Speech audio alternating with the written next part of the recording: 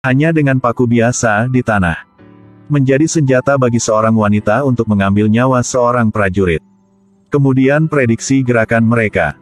Dia berencana untuk mengubah posisi kuku. Tapi pertama kali tidak berhasil. Dia tidak menyerah karena itu. Setelah orang itu pergi jauh, dia dengan tegas menendang paku ke posisi lain. Kemudian saat mereka memeriksa, kemudian menemukan seorang saudara prajurit. Tidak punya kesempatan lain. Kemudian selama pertarungan, paku itu langsung menuju kepalanya. Saudara ini sebelum pergi, bantal punggung dibawa. Kemudian wanita itu pergi ke rumah sakit. Dia melihat prajurit ini mondar-mandir, yang sangat menarik perhatian. Maka pasti mengambil botol asam. Setelah buka penutup, dia meninggalkan botol di tepi meja. Tujuannya adalah membiarkan orang lain menumpahkannya pada dirinya sendiri. Melihatnya dengan lancar melewatinya tanpa hambatan. Dia hanya berjalan dan pura-pura mencari sesuatu. Kemudian letakkan kursi secara alami. Mempersempit jarak jalan. Tepat setelah itu, Pedangnya mengenai botol asam dan menyebabkannya mengalir langsung ke sepatunya. Teriakannya yang menyedihkan. Buat dia merasa lebih berprestasi dari sebelumnya. Tujuan Jiu Enhi melakukan ini. Itu karena orang-orang ini membunuh orang tuanya belum lama ini. Lalu dia pergi untuk memakai jas dokter. Akhirnya mendapat beberapa etanol dari meja. Dan beberapa permen gula menggunakan tampilan yang sangat tenang untuk berjalan keluar ke lorong. Berpura-pura mengikat tali sepatu untuk memasukkan permen di pintu. Perbaiki di satu tempat. Kemudian letakkan dispenser air di sebelah jendela. Uji lokasi pembuangannya. Ketika dia melihat posisinya baik-baik saja, dia mengaturnya lagi. Setelah mengatur di sana, dia maju sebentar. Di mana untuk menempatkan barang. Pertama-tama ubah posisi botol anggur. Kemudian letakkan troli di depan rak anggur. Tujuan utamanya adalah untuk membuat koridor lebih sempit. Membuat orang lewat di sini bisa membuat rak anggur lebih mudah jatuh. Tujuan Jiwer kali ini adalah untuk mengalahkan semua orang ini. Pada saat kacamata dokter ini kabur, dia segera memberikan botol etanol padanya. Dokter ini bahkan tidak sedikit waspada. Dan tuangkan seluruh pot ramuan ini ke dalam. Lalu dia membawa botol air suling keluar dari pintu. Dan menumpahkannya ke lantai. Air dengan cepat mengalir ke tempat gula batu ditempatkan. Pada saat ini, Jiu Enhi memasuki ruang listrik. Ketika melihat lampu minyak ini, dia segera datang dengan ide baru. Pertama-tama lepaskan sekrup sampingnya. Kemudian tarik kartu as ke bawah. Kemudian peras air ke port sekering. Di bawah pengaruh alkohol. Para prajurit mulai pingsan. Penglihatan juga menjadi kabur. Bahkan berjalan di jalan itu bengkok. Saat ini, di bawah aksi air, gula batu mulai meleleh. Langsung hilang kendali. Pintu kayu mengikuti dan membuka dan menabrak rak transmisi air. Itu menabrak jendela. Dan langsung menumpahkan sisi berlawanan dari pot dekontaminasi. Setelah terkena dampak, pot segera meledak.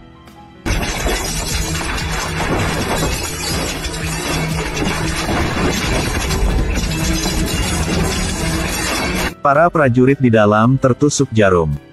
Berteriak kesakitan. Prajurit pergi untuk memeriksa catu daya. Nyaman untuk memegang lampu minyak. Lalu dia menarik total. Tapi itu tidak berhasil. Karena basah. Jadi pas ada listrik langsung mati. Para prajurit di ruangan itu sekarang memegangi kepala mereka dan melarikan diri seperti tikus. Semua orang berjuang untuk keluar secara kebetulan menabrak peti dan menumpahkannya ke tanah.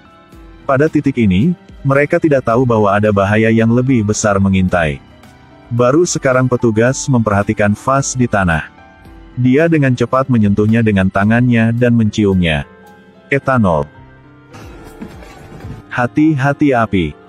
Baru selesai omong. Prajurit yang memegang lampu minyak tanah untuk memeriksa listrik datang. Hasilnya, mereka harus bayar untuk tindakan ini. Melihat sekali. Dia dapat segera menilai identitas dan pekerjaan orang-orang ini. Kemudian dengan tenang mengatakannya dengan cara yang sangat tepat. Dia adalah seorang pengemudi mobil listrik. Bekerja di pembangkit listrik. Wanita ini adalah seorang juru ketik. Bekerja di kantor di bank.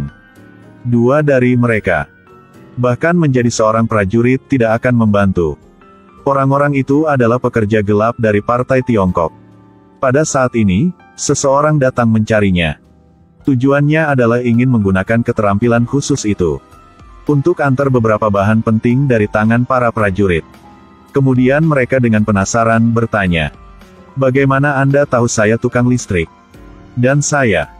Sepatu. Sepatu Anda memiliki sisi yang berjumbai. Dan mengacak-acak. Ini akibat bersepeda terlalu lama. Tidak ada uang untuk membeli sepatu baru. Hidup mungkin tidak kaya. Lalu bicara tentang gadis itu. Lima jarinya secara tidak sadar terhubung bersama. Jadi hanya ada dua kemungkinan. Satu sedang mengetik dua sedang bermain piano. Dari cara dia berpakaian, penampilannya. Dapat dengan mudah menebak bahwa dia adalah seorang juru ketik. Jadi apa yang saya kerja? Di ranselnya ada bubuk kuning. Lengan juga tersedia. Hari-hari ini mungkin Anda membuat dinamit. Karena bubuk itu sangat beracun. Jika terkena untuk waktu yang lama, sangat mudah untuk menghirup melalui hidung dan mulut. Tempat kontak dengan bedak ini dalam jangka panjang akan berhasil. Itu sebabnya dia batuk tanpa henti. Kulit tangan kadang gatal. Dia kemudian melanjutkan dengan menunjukkan bahwa keduanya adalah saudara. Karena kemeja yang dipakai satu orang lebih cocok untuk yang lain. Ditambah dia tidak kidal. Dan yang lainnya adalah kebalikannya. Itu sebabnya sisi lain dari selongsong memiliki lebih banyak gesekan. Jika mereka bukan saudara, juga adalah teman dekat. Jaket bisa dipakai santai, tapi sweater tidak akan berubah. Pertama buka grendel koper ini. Kemudian dengan sengaja menjatuhkan barang itu ke dalam sambil melewati pasangan ibu anak ini. Tujuan utamanya adalah untuk mencuri tas mereka sementara mereka berdua lengah. Ketika dia bangun, dia menemukan tasnya hilang. Pada saat dia mengambil ikan asin dan ingin mengejar pencuri itu, paman segera menariknya kembali. Berpura-pura menjadi orang baik. Hanya dia yang pergi ke arah yang berlawanan. Tapi itu tidak berhasil. Dia segera melihat cara pria itu melarikan diri. Dia baru saja berlari. Terus memeriksa bagian dalam tas. Lalu lemparkan ke orang asing di jalan. Sepotong kue jatuh dari langit. Buat pria itu panik. Tidak tahu harus berbuat apa sekarang. Pencuri ini, kamu mengambil barang nenek lagi. Aku bukan pencuri. Bukankah ini tasku? Kemudian dua polisi berjalan. Tapi pria itu tidak panik. Pertama dia menyuruhnya untuk memeriksa tas. Lihat apa barang di dalamnya yang hilang. Anehnya, tidak ada yang hilang di dalam tas. Setelah pria itu dengan hati-hati mengamati kuncinya. Dia segera meminta polisi untuk menelepon ke rumah dan dia meminta keluarganya untuk menangkap pencuri itu. Karena sebentar lagi pencuri akan datang ke rumahnya mencari barang. Bentar lagi bibi pulang ke rumah dan tidak ada apa lagi. Saya kasih tahu. Kau jangan menipu kami. Saudara, jika sesuatu terjadi, ikuti saja kami ke kantor dan bicara. Anda menelepon dulu. Jika bukan karena waktu itu, saya tidak akan bisa menjelaskannya. Menelepon Tiet Lem dan berkata saya ingin melaporkan kasus ini. Mendobrak rumah orang. Intrusi. Dua orang ini masih sibuk. Dan tidak tahu. Rencanaku telah terungkap. Dengan sangat cepat, dia dibawa ke kantor oleh Tiet Tiet. Tiet juga penasaran dengan identitas pria ini. Bukan kaki tangan. Bagaimana Anda tahu mereka akan menerobos masuk? Pertama, dia memberikan koran itu kepada polisi untuk diendus. Itu koran yang digunakan Bibi untuk membungkus ikan. Di koran ini, semua informasi sewa dicoret. Yang dilingkari cuma satu. Itu adalah rumah yang dipilih untuk merayakan nomor 97. Dan tanggal yang tertulis di koran adalah kemarin. Hari ini dia membawanya untuk membungkus makanan. Bukti bahwa rumah itu disewa. Plus, tidak ada yang hilang di dalam tas. Bahkan uangnya tetap ada. Tapi dia menemukan sedikit lem yang tertinggal di kuncinya. Ini adalah alat khusus untuk menyalin kunci. Juga cara tercepat untuk menyalin. Periksa pria gendut itu. Lihat apakah dia memiliki kunci baru padanya. Dari detail kecil ini, dimungkinkan untuk mendeteksi tindakan persis mereka lagi. Membuat paman untuk sementara memiliki firasat buruk. Kemudian mereka benar-benar menemukan kunci pada pria gemuk itu. Tidak berani menembak, Ngapain pegang? Saat itulah dua orang datang ke konsesi untuk menyerang. Tingkah lakunya yang kejam membuat orang marah. Meskipun pria itu memohon. Dia masih membunuh istrimu secara tidak sengaja. Dia kemudian terus meninju wajahnya. Tindakannya segera ditemukan oleh polisi. Tetapi ketika saya melihat bahwa pihak lain adalah orang Jepang, mereka segera takut apa yang harus dilakukan. Tidak terduga. Satu karakter pahlawan telah ditayangkan. Dia melompat dan melemparkan tendangan untuk menjatuhkan lawan. Orang Jepang dirobohkan. Belum sempat bereaksi. Buru-buru bangkit dan mengangkat pistol. Dan mengarahkannya ke dada polisi.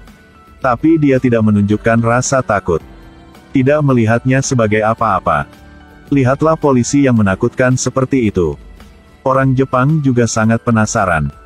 Siapa nama kau? Tiet Lem.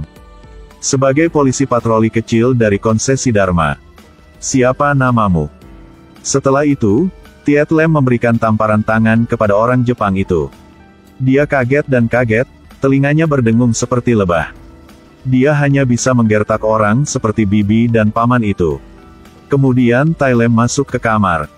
Hanya melihat paman diikat di kaki tempat tidur. Dan istrinya di sebelahnya segera berhenti bernapas. Siapa bunuh? Dia. Melihat penampilannya yang luar biasa, Tiet Lem sangat marah. Dia memegang vas bunga di sebelahnya dan memukul kepalanya. Kemudian lanjutkan untuk melempar tendangan ke orang itu. Sekarang kalian keluar untuk membunuh orang dan membakar. Tapi sekarang dia dikalahkan di tangan saya. Kata-kata yang baru saja diucapkan. Sebuah peluru tepat mengenai dada pamannya. Situasinya terjadi tiba-tiba. Membuatnya tidak bisa bereaksi. Sekelompok orang yang berdiri di depan pintu tidak berani bergerak. Tadi kau bilang bunuh orang dan bakar. Saya pikir Anda salah. Orang sudah mati. Tapi belum ada api. Lalu orang itu ambil korek. Tiet Lem langsung pukul dia. Tidak menyangka korek juga terbang keluar.